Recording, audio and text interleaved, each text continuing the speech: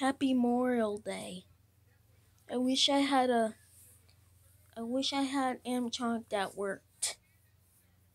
So, happy Memorial Day.